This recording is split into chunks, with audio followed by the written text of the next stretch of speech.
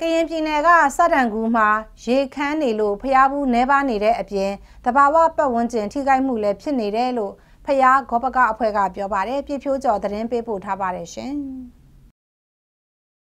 ကရင်ပြည်နယ်ကစတန်ကူဒေသဟာတဘာဝစတန်အင်းကြီးကြောင့်လှေစီးပြီးတဘာဝပတ်ဝန်းကျင်လေ့လာတဲ့ခီးသွွားတွေအများဆုံးလာရောက်ကြပါတယ်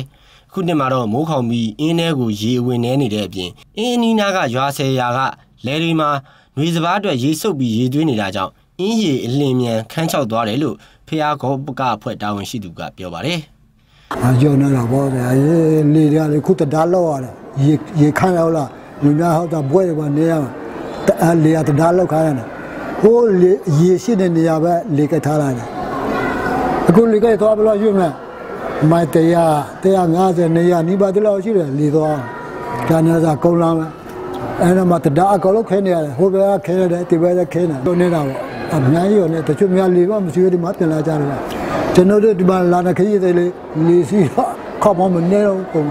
ပြန်လာကြတာရှိတယ်လေရောမရှိဘူးဆရန်ကူဟာလှေစီးပြီးတဘာပတ်ဝန်းကျင်လေ့လာတဲ့ခီးသွားတွေအများဆုံးလာရောက်ကြပေမဲ့အခုနှစ်မှာတော့ရေခမ်းသွားလို့ငားတွေပါတည်ဆုံမှုရှိနေပါတယ်ဆရန်ကူဟာဖအံမြို့နယ်အတွင်းကဖအံမော်လမြိုင်ကားလမ်းဘေးကကောဆူဝါကျေးရွာနားမှာတည်ရှိတာပါသွားလေးလာလေးလာပြန်လဲလဲရတယ် ပြန်သွားလဲရအဲ့ဒီမျိုးငါပြောပြတယ်လူသွားတာပဲသွားနေလူကတော့ဥမာပါပြတဲ့ဟို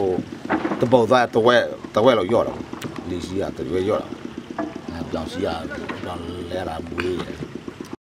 စရန်ကူကိုပြည်တွင်းပြည်ပခီးသွားတွေနေ့စဉ်1000ဝန်းကျင်လောက်လာရောက်နေကြပြီးတော့လှီစီခီးသွားနေ့စဉ်3000လောက်ရှိပါတယ်။ကရင်ပြည်နယ်အစိုးရကအခုနှစ်ကိုခီးသွားအများဆုံးလာရောက်ဖို့စီစဉ်ထားပေမဲ့အခုနှစ်မှာတော့အင်းထဲမှာရေမရှိတော့တာကြောင့်လှီစီတဲ့ခီးတဲ့ 1500အောက်ရော့နေသွားတယ်လို့ဒေတာကန်တွေကဆိုပါတယ်ကျွန်တော်ပြဖြိုးကြော်ပါခင်ဗျာ။